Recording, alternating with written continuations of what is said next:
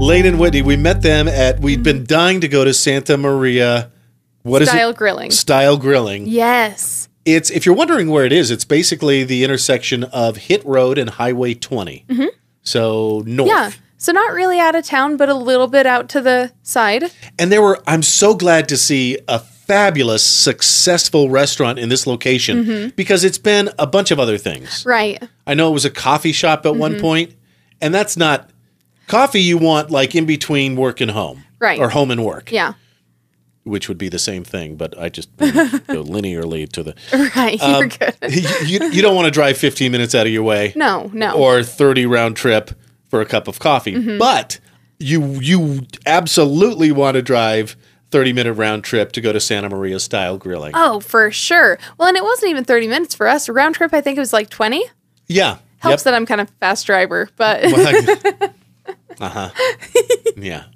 Nine, you're fine. Ten, you're mine. Remember that. I know, That's I try. Sometimes those ISPs have their uh, what's radar set to 10 over, right, as I right. understand it. Because Lane and Whitney said, get there early so you can get the tri tip. Right. That's what we highly recommend is the tri tip. And you're like, well, I can get Oh, tri tip from Sam's Club and grill it up myself. How good can it be?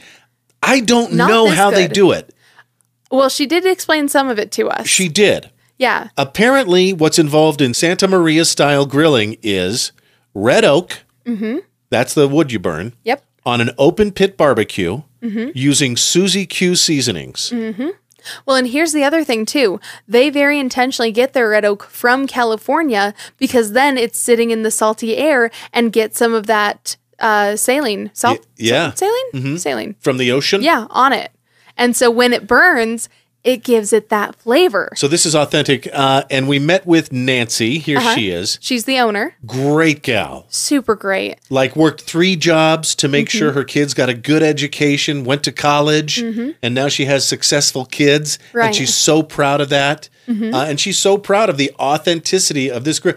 It's really like nothing I've ever had Yeah, here in Idaho. I would agree. It's really good food. And the meat is just so well done. You can tell that she puts a lot of energy into this. And I will say, too, very, very clean establishment. Yeah. I was so impressed by how tidy everything was. You can see into the kitchen, and it's not like, you know, a, an explosion went off in there. Everything's very clean, very well maintained. You can tell that there's a lot of love that went into that location. First, you got to get what? What do you got to get? You got to get there early. Then you got to get the tri-tip sandwich. Here it is. Mm-hmm. Uh-huh. That one was good. It's just a ton of savory tri-tip Mm-hmm. on a hoagie roll, We also got the tri tip nachos, and those were fantastic. and that's what I love going out to eat uh, with a bunch of people.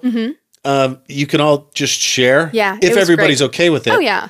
I got the the other thing you have to get is the peanut butter burger. Oh, yeah. It was so good. I, okay.